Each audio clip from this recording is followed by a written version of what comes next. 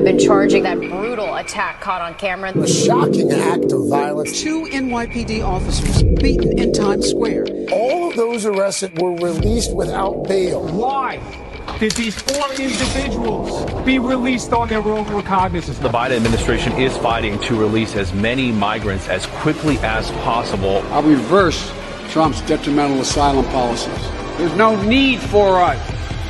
Biden administration reversed Trump's policy on remain in Mexico. Joe Biden to stop construction of the border wall. It's a new day on the southern border. Here we go. The policy that made it easy to kick out migrants is gone. He inherited the lowest rate of illegal immigration and he immediately reinstated catch and release. And so when they apprehend people, they let them go.